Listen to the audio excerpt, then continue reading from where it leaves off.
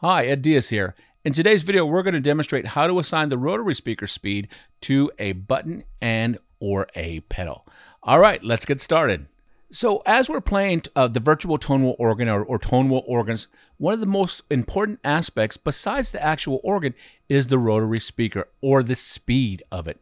And inside the Fantom, if we want to, it's very easy to have it speed up and slow down. We have already some parameters automatically built in. One being we can go ahead and hit the pitch bend to the left or to the right, and you will notice it automatically will speed it up or slow it down. So that's a very common one, and that's what many of us will do is just use the pitch bend and hit it to the left or to the right to slow down or speed up our rotary simulator. Now another option that people want is to assign it to a particular button and of course a pedal. So let's show how to do a button first. So in my example, I'm going to put mine here on S1. All right, very easy. I'm going to press and hold shift and I'm going to hit S1. Right, you see my scene edit comes up for the particular buttons. I'm going to press enter, pop that window open, and I'm going to cursor all the way to the bottom. Let's use this knob right here. Great. So uh, there's a lot of parameters in here. And the parameter I'm looking for is rotary speed. So I'm going to say OK. Now, this next, we have a choice here. Do we want it to have it on, let's press enter. Do we want it to be a momentary, which means we have to keep holding down S1 for it to keep uh, uh, the speed. So as soon as I let off, it will slow back down. Okay, that's up to you. Or do I want it to be latch, which means it, it's going to start off slow. And when I press S1, it'll latch uh, to the on position, which will have it fast. And do I and to get it to go back slow, I will have to reselect S1, just hit it to slow it back down. So it's up to you. I think in my example, I am going to go ahead and hit it, uh, have it latch, so it'll always be in there. Now that that is set, I will press the right button and it's going to write that to the scene. So let's go ahead and say yes. And here's a scene that I've been working on. And okay. All right, so right now, there's nothing on, and I'll go ahead and make it so you can see. There's nothing on. I'll go ahead and, and hit S1. And you see it's latched. It's latched, so it'll stay on fast. I'll hit it again, and it'll slow back down. It'll unlatch. And so that's one option. That's another option. Besides using the pitch mod to the left or the right, you can go ahead and assign it to a, another button. But to me, that doesn't really make sense. The one that everybody's going to want to know how to do is how to assign it to a pedal. And I just grabbed a, my good old-fashioned DP2, but this will work with the DP10s as well if you wanted to. So let's go ahead and do that now. I'm going to take my DP2 and I'm going to plug it into one of the pedal ports of the Fantom now. So let's go ahead and do that.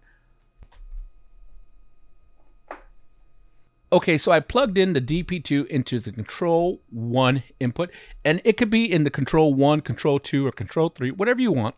And now I need to make this come up, right? The parameters come up. Now I can go into the zone edit or the menu and search and all this stuff, but the easiest way is to go ahead, press and hold shift, and just go ahead and squeeze the pedal. Great. So now the parameters have come up very quickly. And uh, one thing I do want you guys to notice is that at the top, it went to the system. Now, I want you to be aware of this. If if your pedals are set to system, the pedals will have the same assignments no matter what scene you're on because it is a system setting.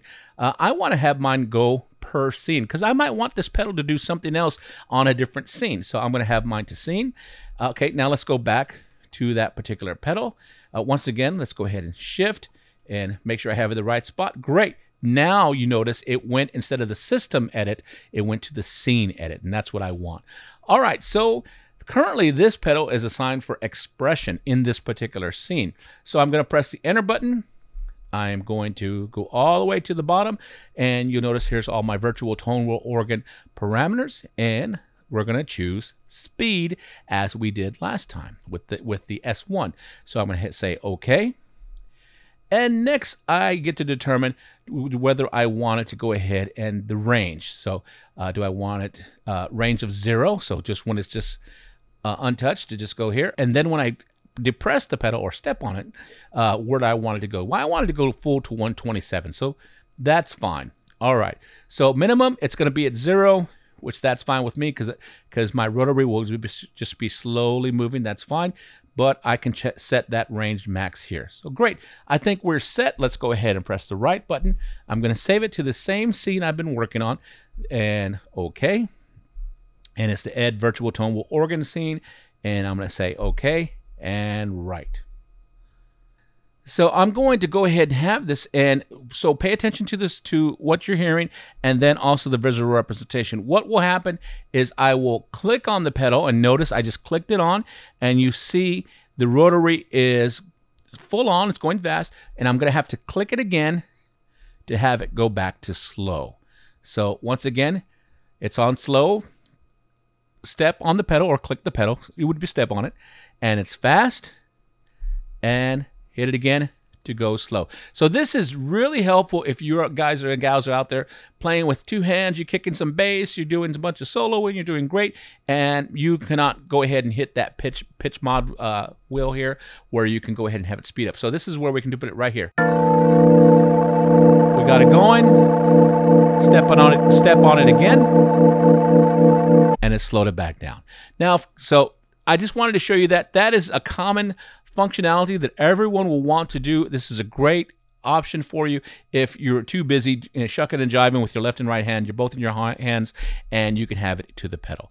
All right, you guys check this out. I hope it helps you out. Take care and we'll talk to you later.